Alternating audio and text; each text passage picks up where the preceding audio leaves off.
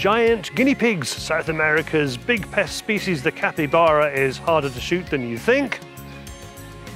I've got a piece about the general licenses. Ben Husthwaite is back with more tips for shooting straight. We've got news, we've got hunting YouTube. Welcome to Field Sports Britain.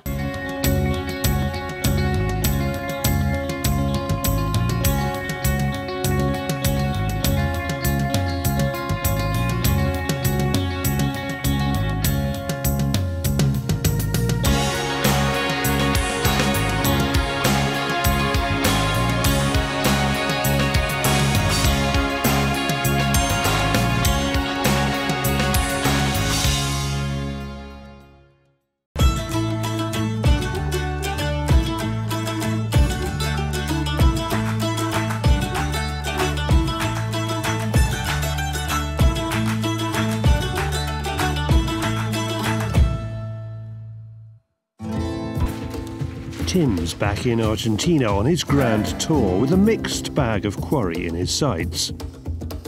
I'm heading north from Buenos Aires towards the Paraguay border, visiting many farms, hoping to do as much hunting as I possibly can. For the first few days of my trip, I was stalking the elusive axis deer, but unfortunately I drew a blank. I needed to sharpen up on my stalking skills but I made up for it with a successful night out shooting hare at Federico's farm. We got two! Hey! got a phone call from a local farmer who knows Carlos, and uh, he's got a problem with um, with these animals eating his his rice and his wheat. And uh, so we thought that's interesting. He said, "If you've got too many of them, can we go and pop there and, and maybe take a few out?" These are capybara, the world's largest rodent and a serious pest to farmers. We arrive at Jose's and he explains to us the problems he's got. He has capybara eating his wheat and his rice, so he needs to reduce the numbers. He also tells us that his farm workers have had several attempts at shooting them with 2-2 rimfires. So they are now very, very wild and they're very, very hard to approach. They're about 180 odd metres away. You can see a couple of backs, so it's, it's so, so borderline. This ground is was obviously very wet a while ago, now it's rock hard. It's pretty horrible stuff to actually walk on anyway, so, so I'm making all these excuses up to uh, say that actually is going to be quite a tricky one, but we'll have a go. But I need to get closer, so I go for broke. I decide to crawl straight towards them.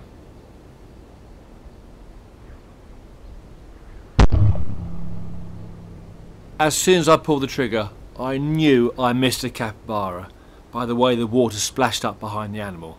I cannot believe it. No excuse really, I was reasonably stable. I've shortened these stable sticks to the shortest dimension actually. And very, very solid actually. Really, really, very, very good. the ground's rock hard so keep on moving, but I was actually pretty stable as shooting positions, positions go, so I was actually more confident hit the shot. But shot over the back, yeah, Disappointing, actually, to be fair. After replaying the slow motion, you can see the bullet literally parting the hairs on the back of a capybara. It was so close to a perfect shot. In need of cheering up, Tim reckons he wants to brush up on his horse riding skills. Skills his backside sorely needed last time he was here.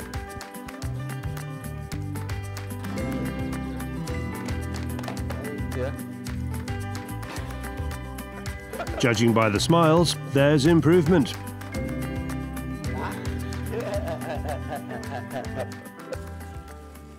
We drive for another two hours to another farm owned by Augustine. He farms cattle and also eucalyptus trees.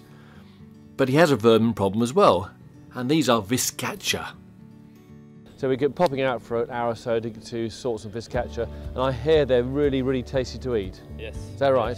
Yes. Excellent. So so the other day we were shooting um, hares at night, we were shooting wild boar at night, and now we're down to little vizcachas. Yes. So, yes. so we've gone from boar to hare to vizcacha. Yeah, so let's see what we can do anyway. Okay, okay let's crack on. right, what we got here? So, it's a semi-automatic Krico by the looks of it. Um, they're using high velocity bullets, 10 shot magazine, and what I think is really good, they've got a bit of string locked onto the uh, magazine so it stops you it dropping out because I know from memory for many years I had one of these in 1976 it's a rabbit shooter you knock that and the magazine falls out and you lose it and they're very expensive. And we got a little spotlight there as well. So yep. Looks all pretty good to me so what we've got to do is find some Viscacha We drive to the floodplains near a large river, and this is where we find the colonies of Viscacha.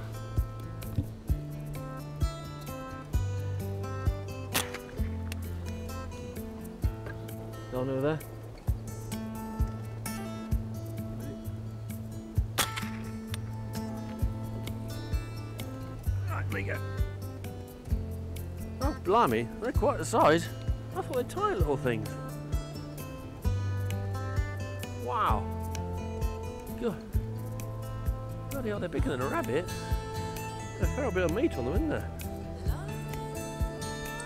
Nasty little teeth there. Fascinating beasts they are. The perfect way to finish off a day's hunting. They taste fabulous.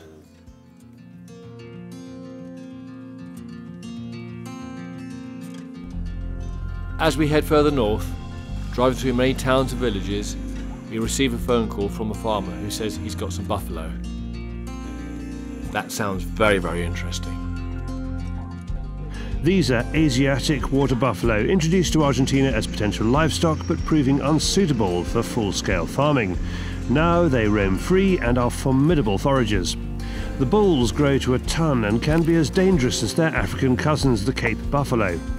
This will be different to giant rodents.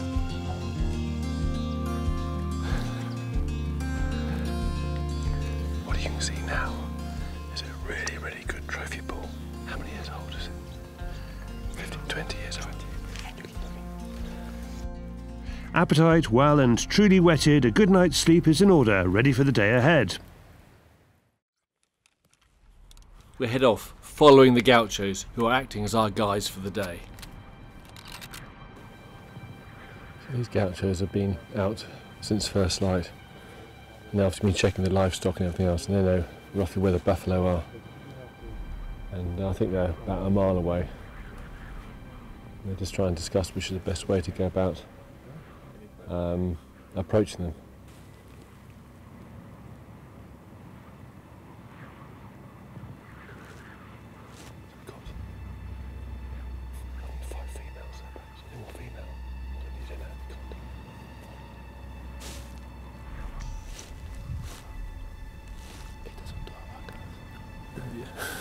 No. If he's calm, we try to take the buffalo very calm. If Yes. he's calm, the first shot, he will like, He just get yeah yeah he maybe yeah he go to the floor. yeah. But when he's to the floor, Just go just shot, get one in there. Yes, that's right. Yeah, shot. Because if not, 10 seconds. yeah. yeah yeah okay. And if he's calm, we have a very good chance to. Well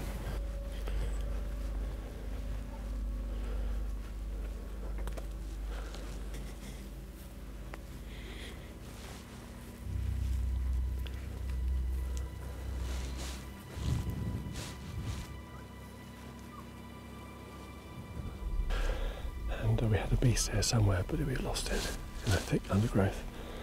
So at the moment, going up and down trying to pick up the tracks. Raoul's kind of He's found some down here.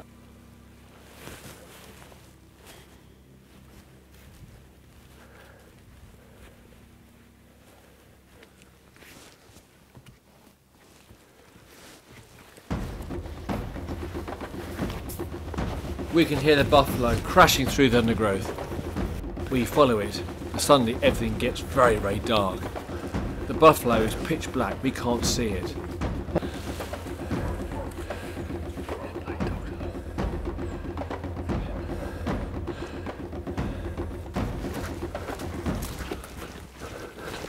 So the dogs found the, the buffalo for us, and uh, this is going to be running for quite a long time. I guess okay. we-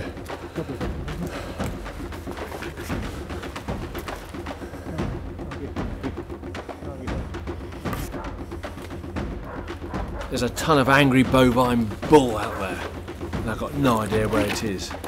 Now it's got the advantage on us.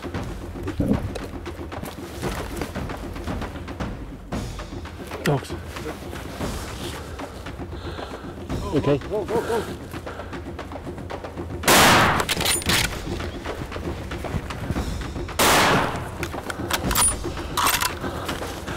Sideways.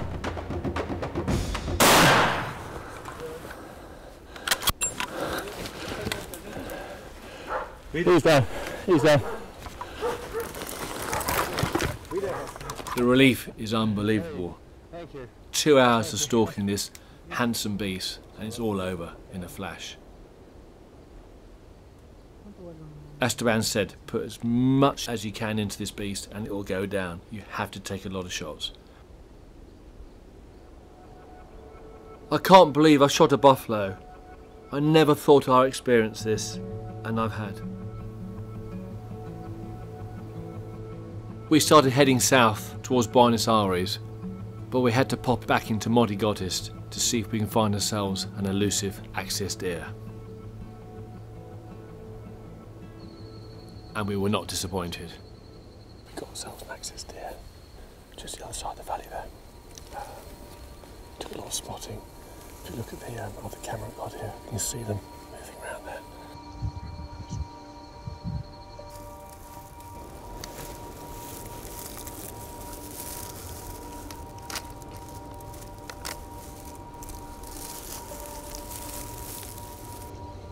Yes.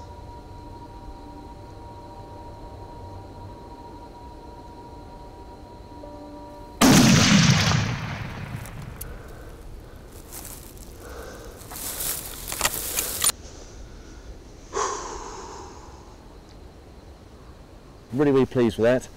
It's gone down well, um, so the job's been well done. It's a successful end to an epic road trip for Tim and Carlos. I come to the end of yet another memorable trip to Argentina. One thing for sure, I'll be back.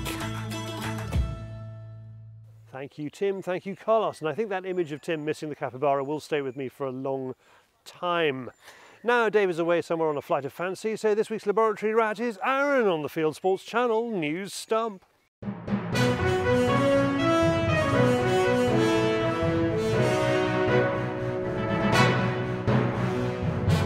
This is the Field Sports Channel News. There's a twist to the new general licenses story. Wild Justice, which successfully scared the government into banning all pest bird shooting and then allowed it again, has issued another attack from its lawyers. This time it is aimed at the game bird shooting industry in England, with a challenge to stop shooting corvids in order to protect pheasants and partridges. There's a full update on the general licenses from Charlie after this bulletin. A huntsman has been convicted of feeding a fox cub to a pack of hounds. Anti-hunting activists used a hidden camera to film Paul Oliver, former master of the now disbanded South Herefordshire Hunt. He was convicted at Birmingham Magistrates Court of four counts of animal cruelty after the judge rejected his claim that he was relocating two fox cubs into the wild. District Judge Joanna Dickens also convicted Oliver's partner Hannah Rose, who worked at the hunt as a kennel maid, of three counts of causing unnecessary suffering. The BBC have muddled an airgun shop in Nottingham with the rise of violent crime. BBC News ran this picture of a child looking into the window of Draper's Airgun Centre in Nottingham with the headline, Does this shop window glamorise guns? Sauer have brought out a new rifle in association with the tractor maker Fendt. The livid green of Fendt tractors is well known throughout Europe. Now Sauer have copied this colour in the styling of this, the Fendt 1050 Vario in 9.3 by 62 a small game animal caliber. This one-off rifle will be auctioned off with the help of Franconia Yak's online auction house Auctronia to benefit the German Hunting Association's DJV project, Network Open Fields Biosphere. To have a look at the auction, which has already topped 12,000 euros, visit bit.ly forward slash green rifle. English foxhounds are doing a great job at catching poachers in South Africa. Southern African Wildlife College's canine unit has made more than 100 arrests since February 2018, when its poacher hunting packs went operational. Working in collaboration with partners and law enforcement officials in the Greater Kruger area, the unit's involvement in the apprehension of over 100 poachers in the past 16 months is unprecedented. You can watch our film about the unit via the link in the description. The battle, whether hunters are conservationists or not, rages on in the US. CBS News has produced a documentary on the subject. They go hunting wildebeest with Tess Talley, who was recently the subject of death threats from anti-hunters after she posted pictures of a giraffe that she shot. Have you seen a roebuck like this? This buck, with a distinctive perruque head, an abnormality that causes the antlers to grow in this way, was filmed at an unknown location in Europe, possibly Hungary, posted by a local hunting group. The film is currently popular on Facebook.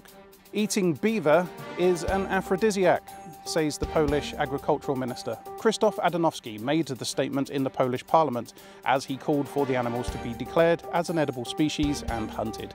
He pointed to a large population of animals in Poland. And finally, who says birds are not sociable? This partridge was filmed in Spain enjoying a beer with his friends. You are now up to date with the Field Sports Channel News. Stalking for stories, fishing for facts.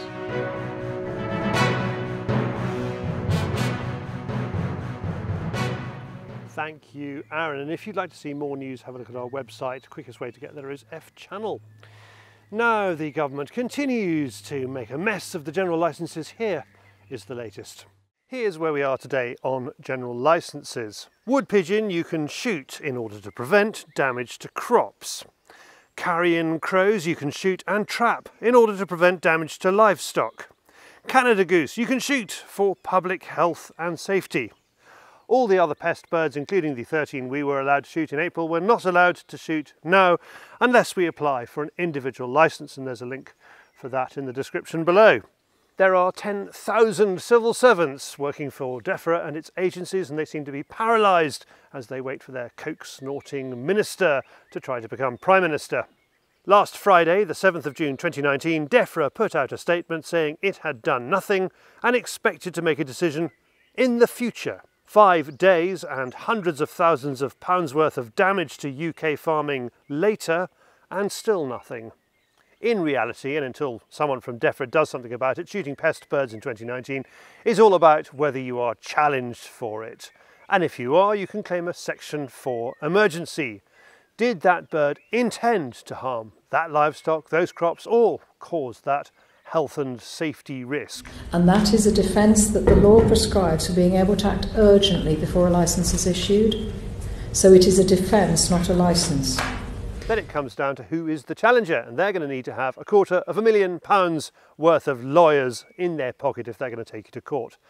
The RSPCA found that out the hard way when it challenged fox hunters over the Hunting Act. They needed a quarter of a million pounds worth of lawyers to show to a judge that it was the hunter's intention to hunt, not the dog's intention to hunt. Similarly, whoever challenges you is going to have to prove that it is not the bird's intent to harm the crops. There are groups of activists who may be able to and certainly want to lay their hands on £250,000 and two of them are headed by RSPB Vice President and BBC presenter Chris Packham, the man behind the General Licenses Havoc.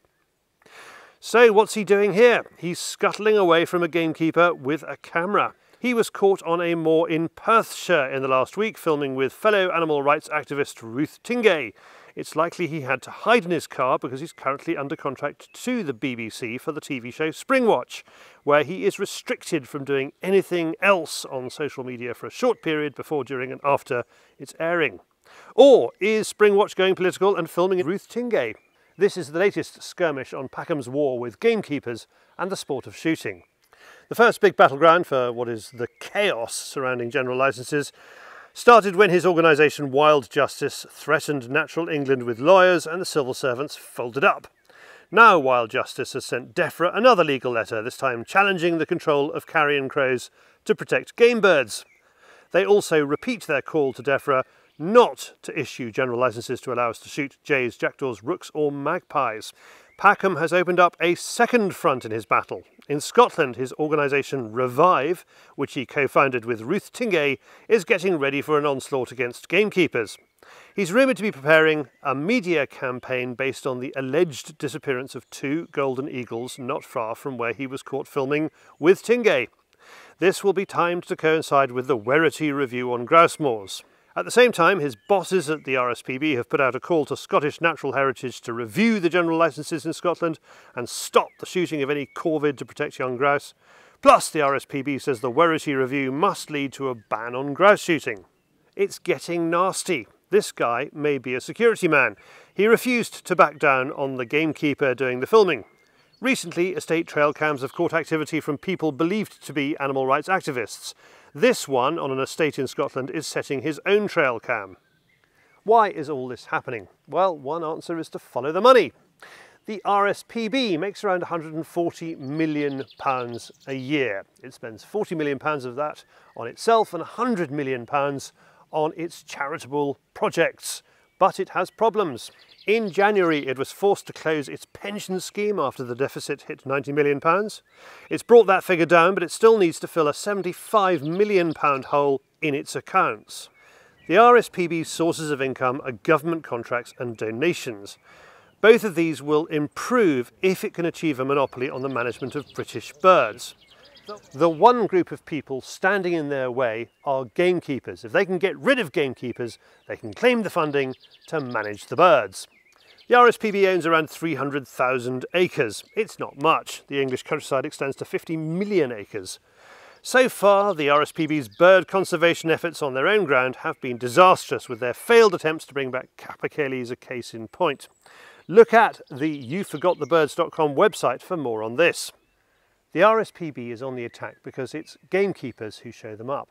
The true horror is that without gamekeepers holding them to account, they wouldn't have to conserve birds.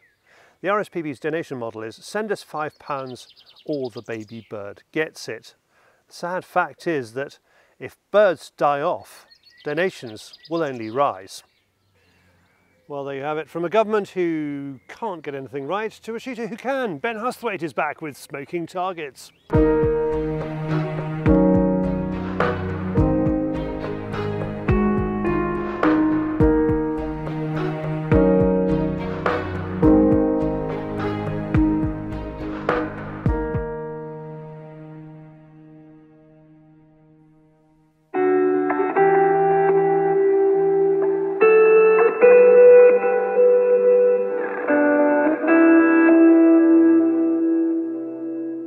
Okay, moving on, we're going to start looking at some different methods. We all know swing through, pull away and the uh, doomed maintain lead. So we're uh, just going to try and progress James through some different ways of using different methods that we've had to actually add on to just down to the, the sport progressing.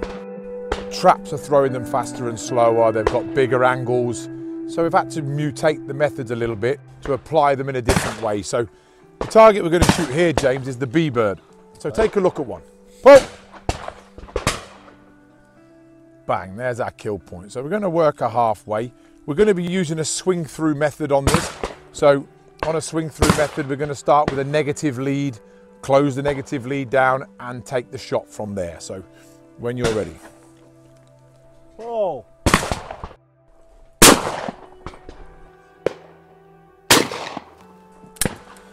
So, as you can see there, we made, we made, a, we made a plan. We made a plan that we're going to kill the bird right at its apex. That was there where we see it the clearest. James, you know, we discussed it, we're going to shoot a swing through method. So what actually happened was you took the shot far too fast. So again, it comes down to the application of the method.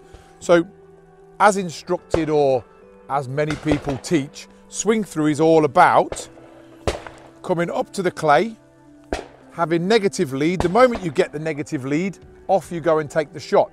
Now the problem being, we often, as James did there, get to the clay way before the kill point. Now, we have to take the shot because we're there, we're, not, we're, already, we're already in position. And as you see there, you hit one and, and you missed one with the inconsistency. But on paper, what James did there was absolutely perfect. But again, because it's quite a slow target, we're going to actually look at a swing through that I apply quite differently. And I've, I call it a negative hold. So what we're going to do, we're going to apply the same swing through, but we're going to predetermine our negative lead. If we let that negative lead change in size, that's going to affect the speed that we close the negative lead. So if we shoot with a foot of lead, negative lead on the first bird, and two foot of lead on the negative side the second time, the speed at which we close that is going to change. That's going to change our, our positive lead. So what I want you to do now is, um, I know the gun's empty guys, so I'm not going to get shouted at. If you close the gun for me, what I want James to do this time is let the clay pass him by a predetermined negative lead of 12 inches. So if you mount the gun for me, James, you're going to come into 12 inches and you're going to do a negative hold. So you're going to stay 12 inches. You're not going to close the 12 inches until I say now. When I say now, go ahead and make your move. Okay, does that make sense? Yeah. So it's the same method, just mut mutated and applied very differently with a negative hold. This allows me to dictate the kill point, not the clay dictate back to me, or the method more specifically dictate back to me. So don't let that grow. I want you to shoot two of them.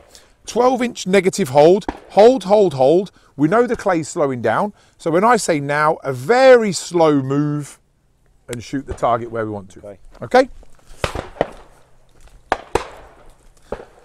I shall pop that back for later.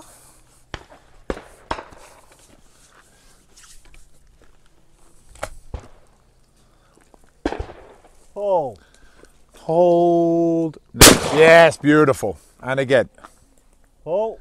Hold now. There, we killed both of those in the exact same place because yeah. we got to the, the correct lead where we wanted to, not where the method dictated to. How'd that feel? It felt really good. It's, it's different, isn't it? More controlled. But it feels very different, I think, to when you start having the balls to sit behind it. Yeah, yeah. You know, and because yeah. we uh, know it's as a human, less of a, a lash. Yeah. and a hope.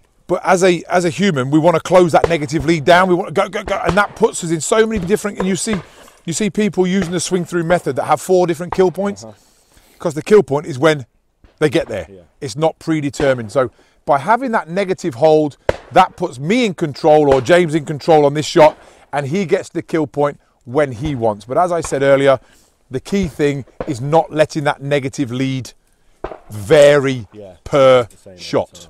Try a couple more. I'm going to stay quiet this time, which is very rare, I know, but we'll keep quiet and you'll shoot the negative hold all by yourself. Paul.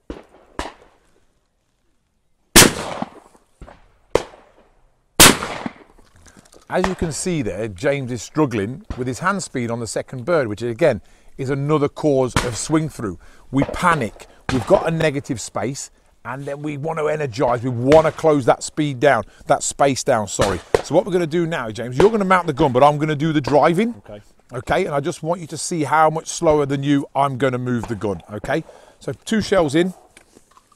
I'm still going to hit you with a negative hold, but this time I'm going to call pull the first time. When you hear me say now, pull the trigger. Okay. Okay, when you're ready. Okay, pull. So we've got the negative hold now. See how much slower I am? Yeah pull, negative hold, waiting, now. That's how much slower we're going to move the gun. Is this very target specific? I would use this method predominantly when there's going to be very, very little lead, but where I'm going to see the target for quite a long time. You know, as when James started, he shot it here because he went into a swing through. We obviously can't shoot maintain lead on this bird because if you want shoot, if you start in front of something that wants no lead, you're going to miss it. Pull away immediately puts me in front. Again, that's another miss. So swing through is the method that we're left with. But if we apply it as everybody else says, we're going to get to the kill point in so many varied positions. Hence the negative hold. Then when it enters the kill zone, I close the negative hold down and that allows me to shoot straight at it. So what I'm going to try and do now, I've got my own gun, I've got the shot cam attached to it. I'm going to try and show you what that negative hold will look like through the shot cam. That should allow you to see it in detail before you go and put it into your own training routine. So once again, I'll talk you through it. We're going to come up to a negative lead of 12 inches. I'm going to hold that negative lead before closing very slowly and taking the shot on my predetermined kill point. Pull!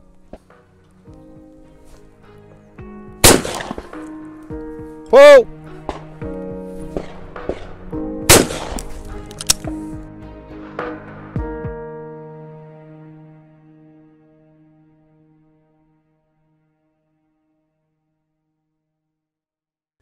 Thank you, Ben. Now from Sporting Targets in Bedfordshire, thank you very much to them for looking after us as we made that series. Let's go to the wider world of hunting and shooting on YouTube. It is Hunting YouTube.